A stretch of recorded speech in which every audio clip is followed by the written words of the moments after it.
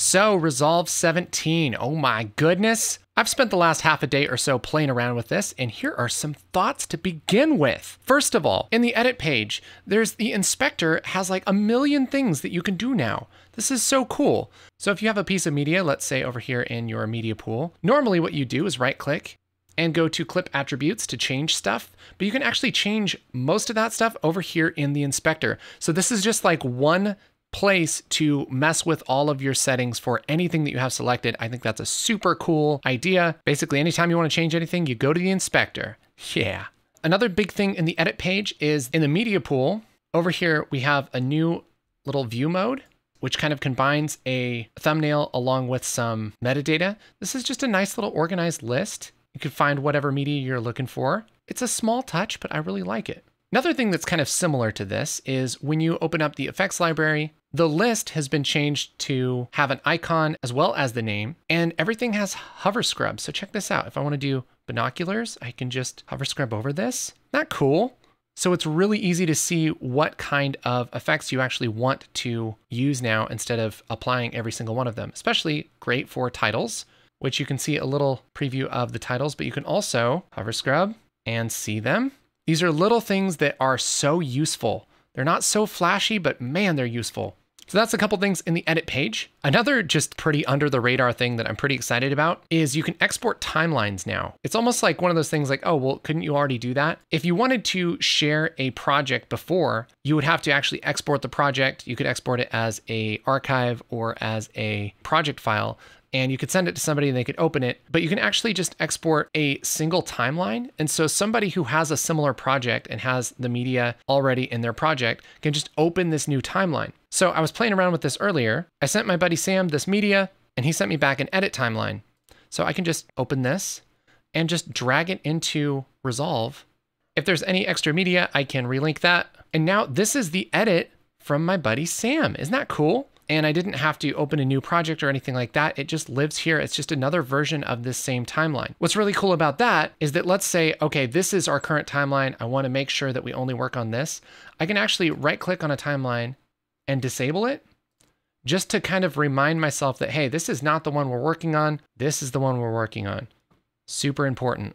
If you've ever worked on the wrong timeline for a few hours when you're collaborating with other people, you know what that's like. There's also some collaboration features in Resolve, which I do want to get into, but this is like the version that everybody can use, whether you have Studio or not, is you can send timelines back and forth. You can also do this with bins, which is really cool. If you guys want to hear more about that, let me know in the comments. Okay, couple other really cool things. You can do a lot more fancy stuff here in the edit page, and there's way too much to show you just in this little video, but I want to show you something cool. So like, let's grab some text and put it over this bee shot, let's say, and we'll just say bees. We can actually set this text to be a mask for this layer of video. And that's just built into the inspector under settings, under composite.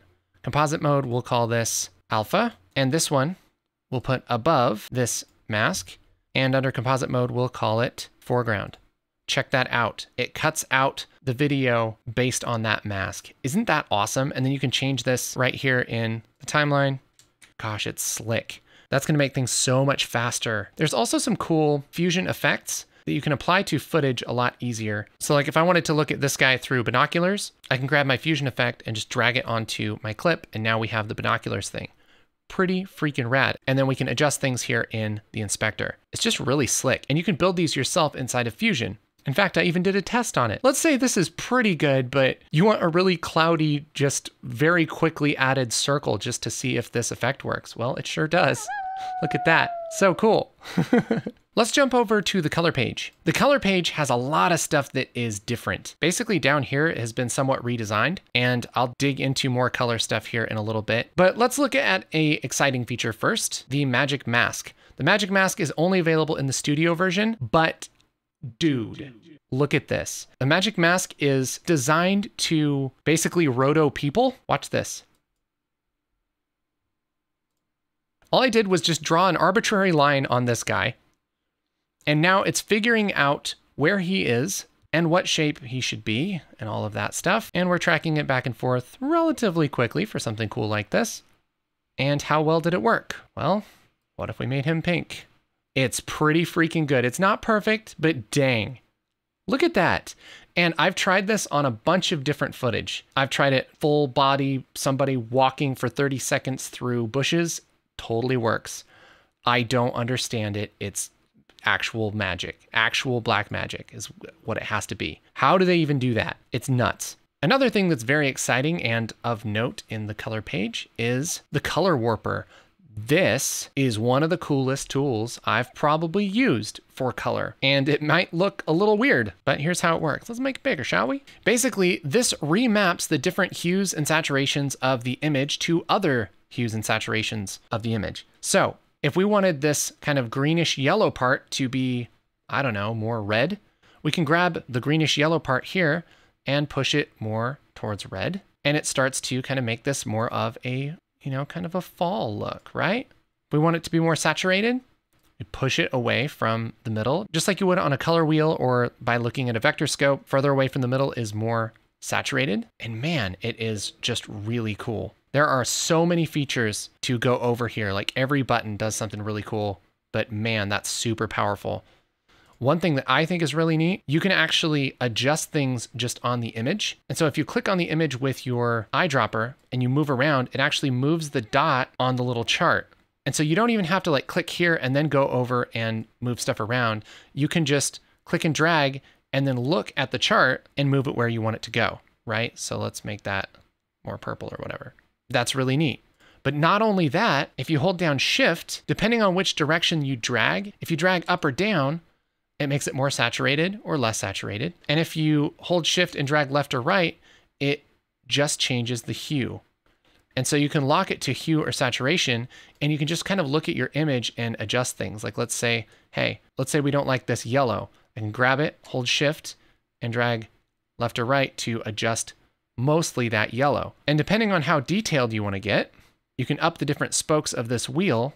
Let's say make 16 different spokes. And now you can get really detailed with what you want to do. And now I can just change this color without affecting the other colors so much. Just nuts, man. So cool. With this color warper up, you can kind of just look at your image and do some adjustments. This kind of reminds me of Cinema Grade a little bit. And honestly, it just gets me more excited for Cinema Grade because uh, what I really want to do is click in here and brighten up his face and everything and kind of do that. Because like, man, once you start adjusting stuff on the image, ooh, it's just, it's addictive. But for now, there's no fancy way, at least that I've found to do that. But it's almost there. It's a really nice little tool to add to your color stuff. It's so cool. The other thing that everybody's going to be happy about I know I'm happy about is audio in Fusion. So I'll grab this clip and move over to Fusion. And if we open up our keyframes, twirl down media in, zoom in a bit. Once we play this back once, it will write that waveform.